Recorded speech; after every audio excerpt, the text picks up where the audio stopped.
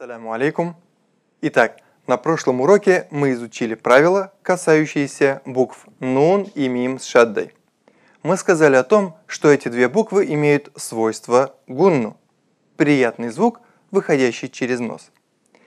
И где бы мы ни встретили нун или мим с шаддой в мусхафе, нужно сделать гунну длительностью в две огласовки.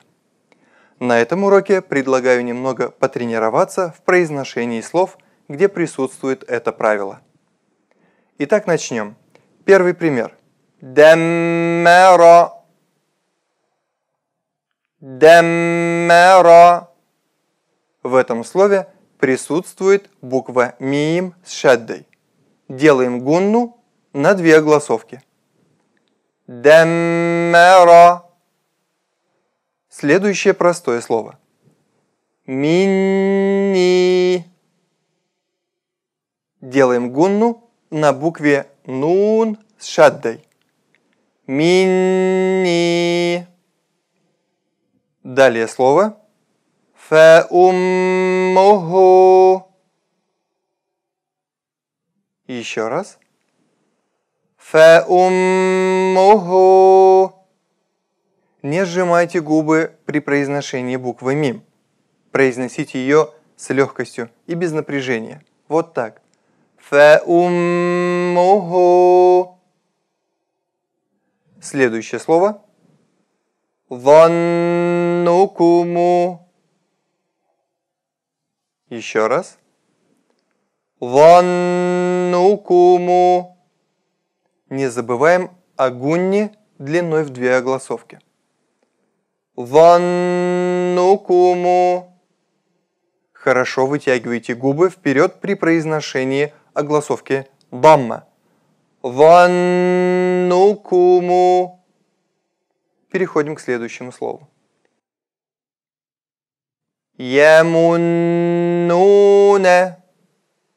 Еще раз. Ямуннуна.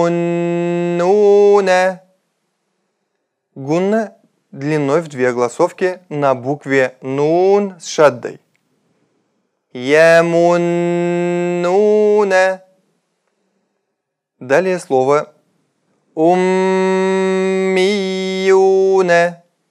В этом слове две буквы с шаддой.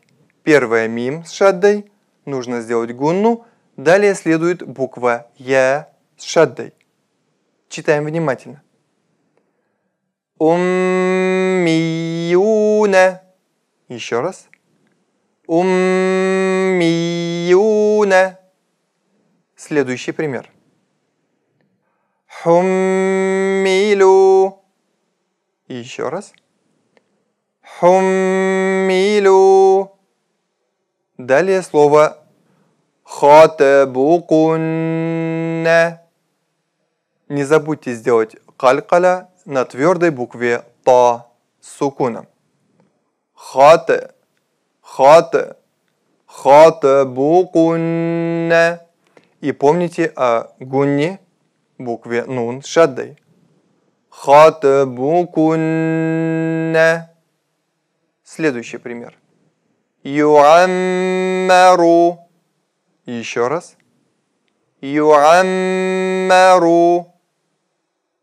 И последний пример этого урока. Ванну. Еще раз. Ванну. А теперь прочитаем все примеры этого урока подряд. Даммара минни فأمه ظنكم يمنون أمي حملوا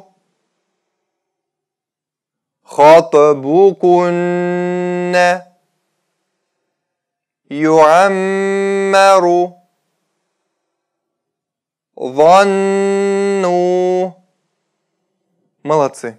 Вы замечательно справились. А на следующем уроке прочитаем несколько коротких отрывков из аятов, где присутствуют буквы нун и мим с шаддой.